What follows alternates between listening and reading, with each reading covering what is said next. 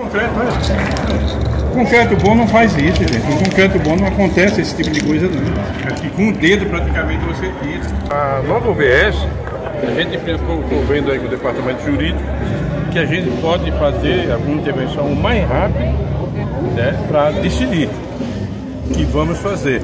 Muito embora a prefeitura não tenha muito domínio sobre a OBS, porque não está nenhuma propriedade da prefeitura. Ela está na propriedade da CDHU, que é quem tem força para mandar parar, continuar ou né, fazer o que eles acharem melhor. Tinha que ter um pilar. Esse pilar não foi feito. Esse é o pilar 17.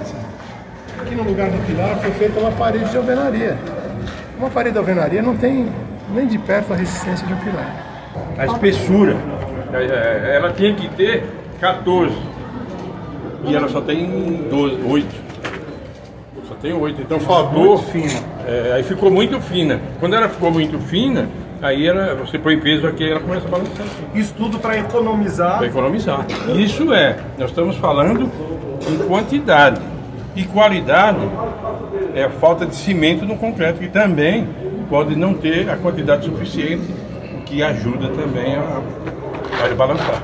Aquela viga, aquela viga, certo mesmo, ela não podia ficar em cima daquele concreto. Ela tinha que ficar encostada no concreto, o concreto da viga, quando ele considera 50 centímetros, considera do fundo dessa viga a em cima da laje lá.